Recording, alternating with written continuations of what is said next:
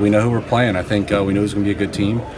You know, it's uh, you know you're playing the best of the best at this point, and you know obviously you know excited city, excited you know group of guys. We got some friends over there that you know happy to see them do well, but ultimately it's about us uh, you know being able to prepare and, and, get ready for the team we know we're playing now. You know, I, first of all, I don't know how big of an under, underdog we are. I don't know what you're, you know, are you referencing a, a spread or something like that, or you know what Vegas says, or what the media is saying? I haven't read anything on you know the the matchup yet from the media standpoint. I would assume that they'll probably be favored. They've been, you know, I think they've won the most games in baseball this year, and they've been a, a really good team, top to bottom. They've got, I don't know what, three guys that might win the Cy Young. So it's, uh, you know, it's going to be a good team. We knew that. Though. That's not a surprise. And you know, if people want to count us out, I think we've had guys that maybe that's fueled them. I think you know, whatever works for us, whatever works for each individual, I think is what's best. And you know, if some people like being the underdog and that's driving them, sure.